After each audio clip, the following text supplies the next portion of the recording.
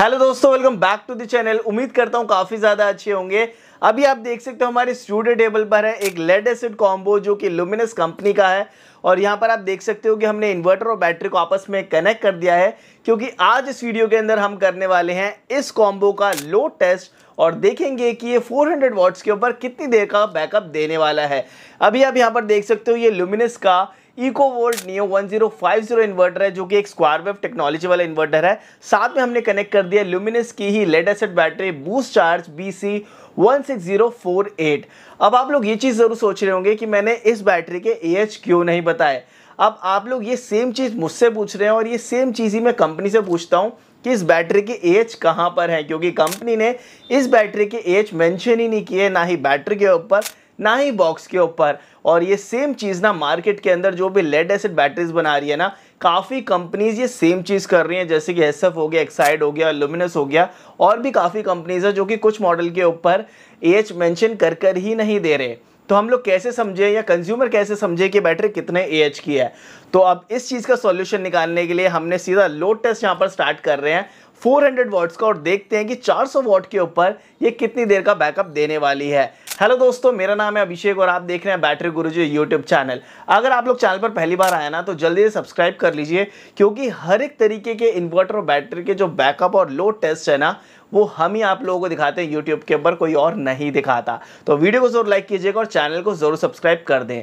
अभी आप यहाँ पर देख सकते हो कि हमने इस इन्वर्टर से ही इस बैटरी को फुल चार्ज कर दिया है, और अभी आप देख सकते हैं कि जो इन्वर्टर की चार्जिंग लाइट है, वो नहीं आ रही इट मीन्स कि जो इन्वर्टर है उसने बैटरी को फुल चार्ज कर दिया है। साथ ही आप यहाँ पर एनर्जी मीटर भी देख सकते हो 52 वॉट्स सिर्फ़ यहाँ पर नज़र आ रहे हैं। इट मीन्स की जो बैटरी है वो पूरी तरीके से चार्ज हो चुकी है और हम रेडी हैं इसका लोड टेस्ट चेक करने के लिए। तो चलिए फटाफट से स्टार्ट करते हैं इसका बैकअप टेस्ट सो so, दोस्तों अब आप यहाँ पर देख सकते हो हमने इन्वर्टर को डिस्कनेक्ट कर दिया है मेन से और अब हम यहाँ पर एनर्जी मीटर के ऊपर जो लोड है वो डाल रहे हैं।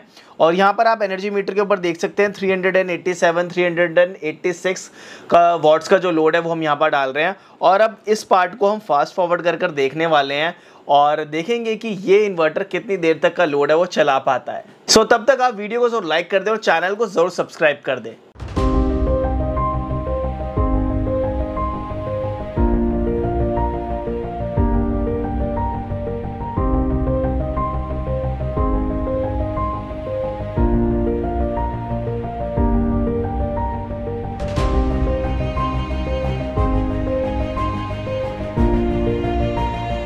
सो so, दोस्तों आप लोगों ने देखा कि इस कॉम्बो ने हमें बैकअप दिया है एक घंटे पैंतीस मिनट का। ये टेस्ट हमने स्टार्ट किया था सवा दस बजे और ये एंड हुआ है ग्यारह बज के पचास मिनट पर।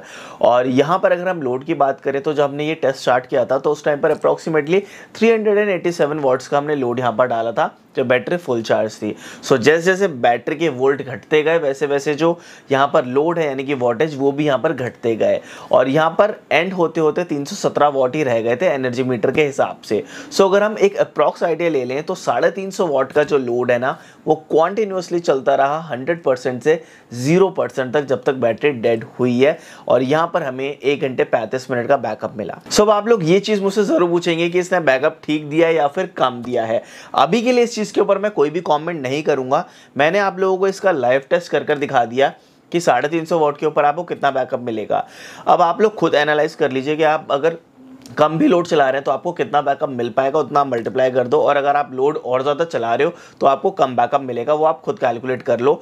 इसका आंसर मैं आप लोगों को ना नेक्स्ट वीडियो के अंदर दिखाने वाला हूँ, क्योंकि नेक्स्ट वीडियो के अंदर हम इस वीडियो का पार्ट टू करने वाले हैं, जिसके अंदर इसी सेम कॉम्बो को हम दूसरे कॉम्बो जिसके ऊपर 135 एच प्रॉपर लिखा होगा बैटरी उसके साथ में डायरेक्ट टेस्ट करने वाले हैं, जिससे कि आपको बेटर क्लैरिटी आ जाएगी कि जिस बैटरी के ऊपर 135 एच प्रॉपर लिखा होता है, वो कितना बैकअप देती हैं। और अब जो कंपनीज़ ने ए लिखने बंद कर दिए हैं तो वो कितना बैकअप दे रही हैं। सेम लोड चलाकर हम लोग टेस्ट करेंगे जिससे कि आपको बेटर क्लैरिटी आ जाएगी। सो so, दोस्तों अभी के लिए आपको एक अंदाज़ा ज़रूर आ गया कि ये कॉम्बो कितना बैकअप देगा और या फिर ये बैटरी कितना बैकअप देगी।